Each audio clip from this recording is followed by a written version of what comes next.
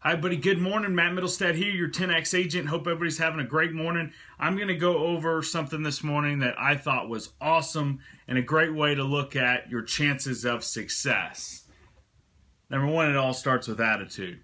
But here's a little chart here your chances of success. You have a 0% chance if you hear the words come out of your mouth to say, I won't. You have a 10% if you say, I can't. You have a 20% if you say, I don't know how.